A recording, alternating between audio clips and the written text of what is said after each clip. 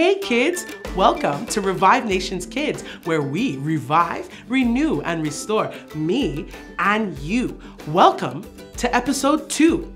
Oh, you missed episode one, eh? All you need to do is go back and watch that video. Go see it. It's all about what happens when people choose their ways over God's ways. Come on, we're gonna continue that. Let's watch it. Hi, King David. We need to have a conversation. Oh, what a fortunate day. Thank you, Lord, for sending your prophet Nathan to me. Come, let's talk. What do you have to tell me? We need to talk about this whole Bathsheba situation. Bathsheba's situation? There's no situation. Hmm, hmm, hmm. You forgot the part that she had a husband, huh? And you got him killed. Well, uh, the heart wants what it hmm. wants, and I saw what I wanted, so I took it. Hmm. Her husband Uriah was a good man, and you took his wife, and also he was one of your top supporters, and you sent him to the battle and got him killed. All's fair in love and war. I'm the king, I know war, and I love to love love. Hmm. How can I get through to you? Mm. King, it's a story time. Story time! Once upon a time, there was a two men in the town, one rich and another poor. The rich man had so many sheep, but the poor man had only one little lamb. He raised it and it grew up with him and his children. It shared his food, drank from his cup, and even slept in his arm. It was like a daughter to him. Now, a traveler came to the rich man, but the rich man refrained from taking one of his own sheep or cattle to prepare a meal for the traveler who had come to him. Instead, he took the ewe lamb that belonged to the poor man and prepared it for the one who had come to him. But hey, that's not fair. That rich guy has to pay back that poor guy like with like Hmm. four times as many lambs or something. Oh, that rich man, he makes me so mad, you know. You know, I would, hmm. I would, I would execute him. yeah, that'll teach him a lesson. He didn't even feel bad, not even once. Newsflash, the story is about you. You are that rich man who doesn't even care. I should have seen that coming. King David, God gave you everything you needed. Still, you wanted what you couldn't have it. You didn't appreciate the life what God gave to you. You only wanted to please your desire and yourself. You selfishly took a woman from her home and killed her husband. You let your craving get the best out of you and hurt the people along the way. Well, when you say it like that, it does sound kind of bad. It sounds bad no matter how you say it. God can't look past this, and you have to pay a price for this. You took Uriah's family away from him, and now the same thing must be done to you. No, uh, so that means I just gotta give a couple sheep, right? Ah, David, come with me. Walk with me. Yeah, it really suits you. I know. When I saw it, I just had to have it. Wow, I'm really happy for you. Honestly, God wants us to have beautiful things. We're too blessed. Right? When I saw it, I couldn't stop myself from buying it. Whew. Amen. You know, God wants us to treat ourselves sometimes, you know. Oh, and I did. I just saw it, and that's it. I wanted not only it, but I wanted the whole store. The whole store? Yes, I bought 60 other handbags. I bought one in every color and even repeating colors because I can. You got the lilac one too? Absolutely. Nice. I'm so glad that you can afford all of these bags. God is good. Afford? Yes, you paid for these bags, right? Um, well, kind of. Uh, I don't get it. It's either you paid for these or you didn't pay for these. Well, the money didn't come from my bank account, but I put it on Pastor Sean's credit card. Ah, okay, so he knows about this, right? Like he's okay with all these purchases on his card? Well, Uh-oh. yes, Pastor Sean, hi. Um, yes. Yes, yes, yes, those purchases were real, yes. Yes, all 60 of them. Okay. Um, all of them? Okay, I understand. Yes, yes. So? Well, I might have to return the bags. Oh, well, it's okay. I mean, as long as you have the receipt. You can- Receipt? Receipt? Oh no, I didn't think about that. I'm gonna have to go take a look through all of the dustbins. Okay, bye, Vanessa. Dustbin? okay. You know, kids, our action will catch up to us sooner or later. There are consequences for choosing what we want over what God wants. When we choose ourselves and give in to our desire, we disconnect from the plan of God. Scary. Let's take a moment and say, God, Lord, your way, not my way. Kids, repeat after me Lord, your way, not my way. Hey, you know who famously said that prayer? Jesus. You want me to go through with this? If it were up to me, I wouldn't. I know. I know, my father. And I've known this was what you wanted for me since you sent me here. My life is not about me. It's not about what I want. But it is to do what you want. Not my will, but your will be done. So I'm going to choose what you want, not what I want, because your way is best. Not my will, but your will be done. I think he is over there. Let's arrest him. I'm ready. Hey kids, we just saw Jesus right before he was arrested. You know what happened after he got arrested? He was taken away, he was beaten, he was made fun of, and he gave up his life and was crucified. It may sound sad, but you know, he did all of that because he was obeying God. The reason being, now that anyone who believes in Jesus has a relationship with God, and guess what? Can live forever in eternity. Ah, isn't that so amazing? Thank you, Jesus. You know, Jesus said, Not my will, but yours be done. He was talking to his dad, God in heaven. That's just a way of saying, God, I want to do what you want, not my will, but yours be done. What God wants over what we want. And here are some examples of just that. Francisco, look, someone dropped their wallet on the floor. Ah, easy money. Oh, you know uh, who it belongs to? No, Well, if no one's gonna claim it, maybe we should take it. no, we should not take it.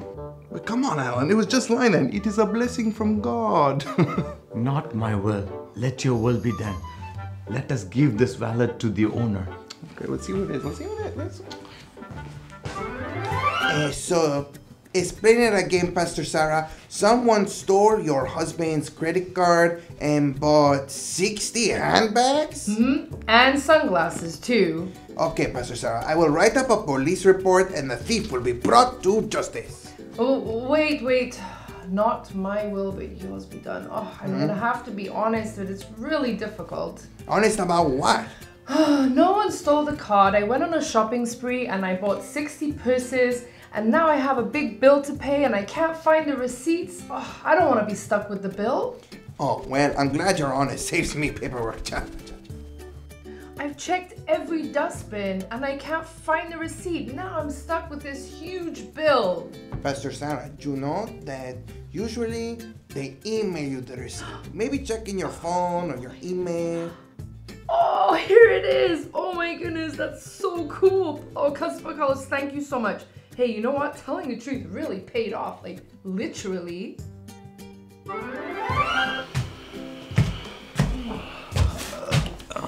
Oh, it's okay. Not my will, but yours be done. Uh, Alan, do you need some help carrying this? Oh, thank you, Vanessa. Yeah. God sent you to help me. Ah, amen. Helping people is the right thing to do. After that snowstorm in April, aren't you so grateful for this nice weather? Yeah, Finally. absolutely. Says, says, do you have any loose change? Um, Francisco. Anything? No, not no. Sorry, Nothing at sis. all. I'm sorry. Who is that? I, I don't know. Uh, Alan, I, I think God wants me to preach to that lady. Are you sure? Okay, go do it. Yeah, but like, what if she's like a mean person? What if she's, what if she's a little, you know, like I don't know, I don't know what to say. It'll get awkward. It's a man and a woman. I just, mm. Wait, is God asking you to talk to her? I really think so. Then go and do it. God is backing you. No, okay, not my will, but yours be done. All right, Alan, I'm going. Good for you. Uh, silver and gold I might not have. Wow, you see, in all of these situations, every person chose what God really wants for them. They made the right choice. You see, they could have stolen, they could have lied, they could have not helped, or even too shy to preach the gospel. What? What's that you say? It's too hard? Hmm, you need to pray and ask God to help you make the right decisions every day so that God could give you a heart so that you can choose Him first. Hey, that reminds me of a song. Come on, sing with me.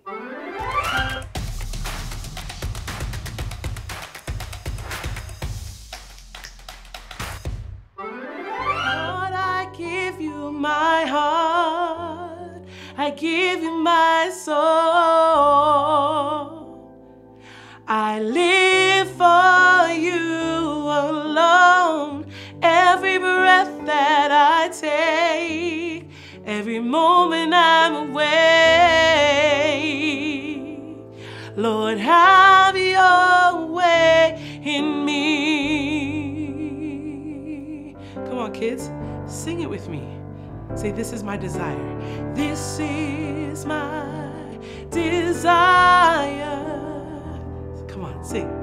This is my desire to honor you. Yes, Lord.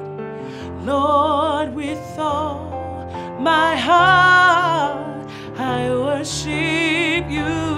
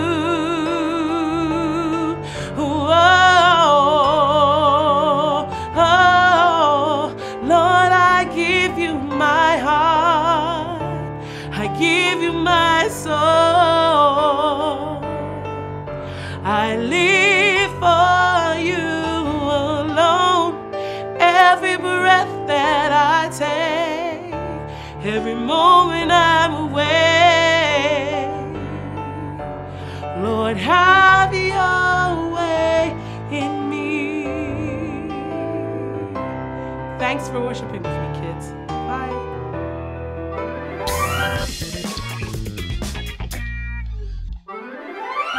Hey kids, look what I found in my garden. This beautiful big white stone. And it makes me think of a verse in Revelation 2:17 where it says, "He who has an ear let him hear what the spirit of the Lord is saying to the church. To him who overcomes, I will give him hidden manna and a white stone. And on the white stone I will write a new name, says the Lord, a name that only he who receives it will know. Well, for this craft today, we're just gonna focus on the overcoming and the white stone. Kids, when we choose God's way over our way, we overcome. Like sometimes we really want to do something, but then we know that God wants us to do something different, and we choose to do what God wants. That means that we are overcomers. So every time we overcome the battles in our mind, every time we overcome our really strong emotions, every time we overcome temptation, it makes us an overcomer. So, how about today? I was thinking we could use this really nice white stone and we can write something really cool on it about Jesus because Jesus is so cool. So, I'm gonna write a message, come along and watch, and then you can decide what you wanna write on your white stone.